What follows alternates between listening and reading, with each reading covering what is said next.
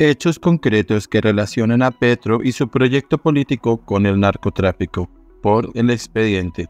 Su cuñado Carlos Alberto Gutiérrez fue socio del narco Memo Fantasma, a su vez socio de alias Macaco de la Sauce y de Fernando San Clemente. El cuñado Memo Fantasma y el director de Transmilenio tenían negocios en la alcaldía de Petro. ¿Han visto el edificio sin terminar en la 100? Ese mismo cuñado, Carlos Alberto Gutiérrez, está relacionado con la empresa Frontera Bacana vinculada en la investigación por el envío de cocaína en un buque ganadero.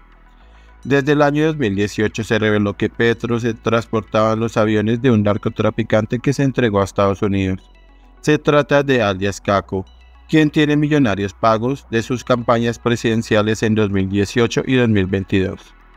Según fuentes periodísticas del expediente y el tiempo, Caco le contó a la justicia de Estados Unidos información que compromete a una de sus campañas presidenciales en Colombia.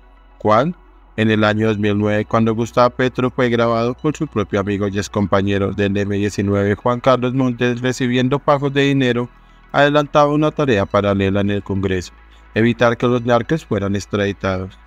En ese caso se supo que el dinero provenía del loco Barrera y el enlace entre Barrera y la campaña de Petro sería Juan Marín Alboleda alias J9, quien apareció asesinado en marzo de 2023 en Bogotá.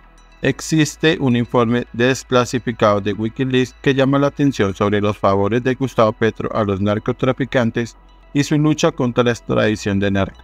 Hay otra línea que conecta a Petro y a Daniel Barrera, se trata del general de retiro de la policía Jesús Antonio Gómez Méndez, quien fue comandante de la Regional Cuarta Cruzada en Cali y formó parte del equipo de las campañas de Petro a la presidencia. El general Gómez Méndez fue retirado de la institución por el entonces ministro de Defensa Juan Manuel Santos, señalado de sostener supuestos vínculos con el narcotráfico, en concreto con las estructuras criminales de Daniel El Loco Barrera y Daniel Rendón Herrera, alias Don Mario. También es un hecho concreto que su hijo Nicolás Petro recibió dinero durante la campaña de parte del hombre Malboro, reconocido ex narcotraficante de La Guajira.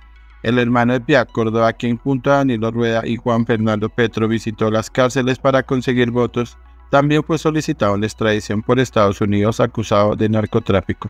Petro también tiene una historia que lo une ineludiblemente a Pablo Milo Escobar Gaviria y el cartel de Medellín. Son hechos. Casos del Casanare, aportes directos de un narcotraficante a la campaña Petro. Juan Fernando Petro se reunió con el emisario del narco alias Falcón en el restaurante de La Sal sentada en Antioquia.